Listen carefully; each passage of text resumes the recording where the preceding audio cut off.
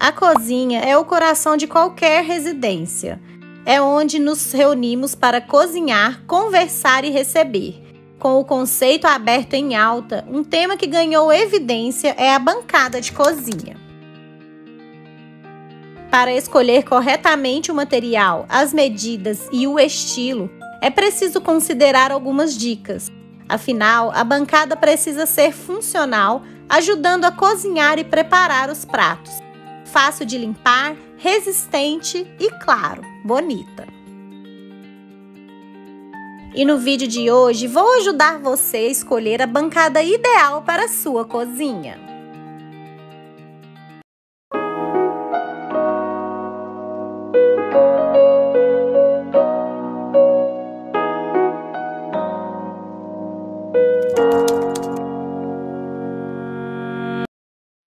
As bancadas de cozinha variam de acordo com o material.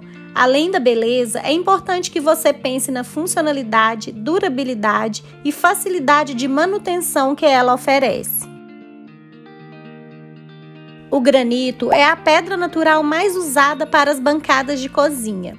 Ele tem um preço acessível, é resistente a impactos e altas temperaturas e possui uma grande variedade de cores e padrões, o que aumenta as possibilidades decorativas. Contudo, o granito pode absorver líquidos e manchar, por isso é importante impermeabilizar a pedra. O mármore é uma pedra natural mais nobre e tem um padrão mais homogêneo, o que simplifica a combinação com os demais elementos da cozinha, Porém, é uma pedra mais porosa, que absorve líquidos e mancha com facilidade. Também é mais sensível a riscos, por isso não é muito indicado para bancadas de cozinha, a não ser que você faça um tratamento antes nessa pedra. O porcelanato é um tipo de revestimento cerâmico que também pode ser usado nas bancadas de cozinha. A vantagem é que ele não é poroso como o granito e o mármore, por isso tem menos chances de manchar. Além disso, é fácil de manter e há uma enorme variedade de opções, inclusive versões que recriam mármore, granito, madeira, cimentícios e outros materiais de forma muito fiel. O Silestone é uma pedra tecnológica que também pode ser chamada de mármore composto. Ela é composta de quartzo com resina de poliéster tem uma aparência lisa e está disponível em uma grande variedade de cores, embora o branco seja o mais usado. Uma vantagem é que o Silestone é mais resistente a manchas e riscos que o mármore e o granito, pois o quartzo não é tão poroso. Porém, exige cuidado com materiais quentes devido à presença da resina. Outro ponto bacana é que, caso haja danos na sua bancada de cozinha, é possível recuperar apenas a área prejudicada, substituindo essa parte com emendas invisíveis. Nanoglass é um material industrializado produzido com pó de vidro e resina. Ele tem uma aparência homogênea branca com brilho intenso. Sua superfície polida é resistente a manchas e tem baixa porosidade. Contudo, assim como no anterior, não suporta altas temperaturas.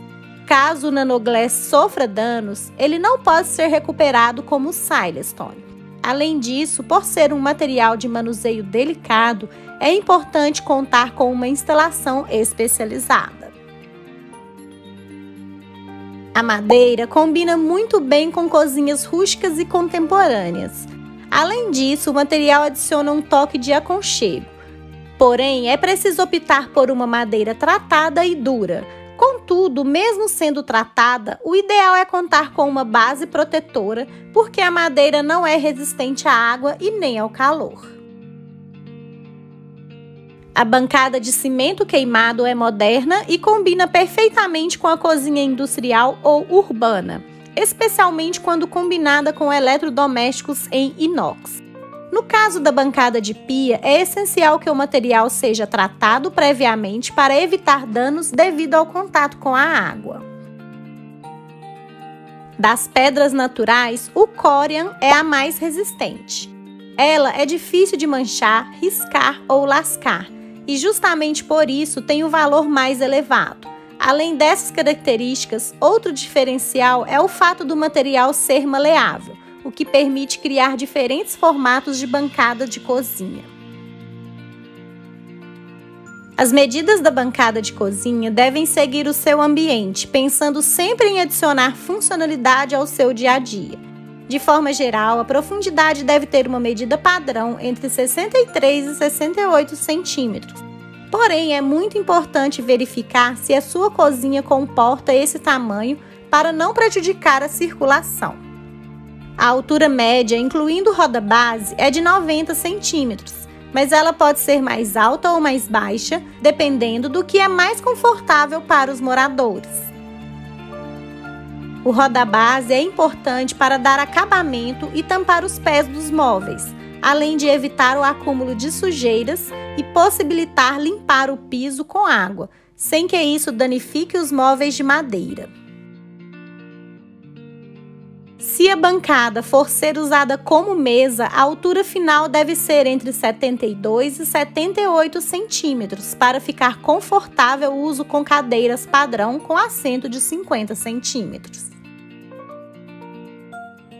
Para garantir que sua bancada de cozinha, além de bonita, também seja prática e funcional, existem algumas dicas importantes.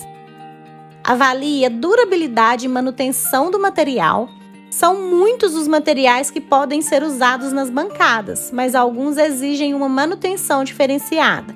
Quem cozinha bastante e usa o espaço com frequência deve pensar em materiais que tenham alta durabilidade e que exijam pouco manutenção, de preferência que não manchem ou risquem com facilidade. Considere a estética. É um fator muito importante afinal, ajuda a contribuir para o estilo e a decoração da sua cozinha. Assim, analise as opções de cores e acabamentos que o material oferece. Pesquise aplicações, veja os materiais ao vivo e entenda como eles combinam com os demais elementos do ambiente, como os eletrodomésticos, armários de cozinha, revestimentos e também com o estilo que você deseja imprimir à sua cozinha. Por exemplo, uma cozinha moderna fica melhor com opções clean e neutras, como quartzos, silestones, nanoglass ou mármores e granitos. As cozinhas rústicas combinam muito bem com madeira e cimento queimado. Esse mesmo material também fica incrível em cozinhas urbanas industriais. Quanto maior for a área de bancada da sua cozinha, mais caro ficará o projeto. As grandes bancadas ainda precisam de atenção na escolha do revestimento, para que não cansem com o passar do tempo e nem fiquem excessivas com os demais móveis e revestimentos de piso e parede. Avalie a praticidade. A praticidade é crucial para entender os cuidados que você precisará ter com a sua bancada. Alguns materiais exigem cuidados adicionais com respingos de líquidos, materiais quentes e a própria limpeza diária, enquanto outros são muito mais simples e resistentes. Para uso constante, prefira opções menos porosas e que não risquem tão fácil. Agora que você aprendeu um pouco mais sobre os materiais mais utilizados em bancadas de cozinha, deixe aqui nos comentários qual o seu material favorito qual você usaria na sua casa e qual você não usaria. Comenta aí que eu quero saber.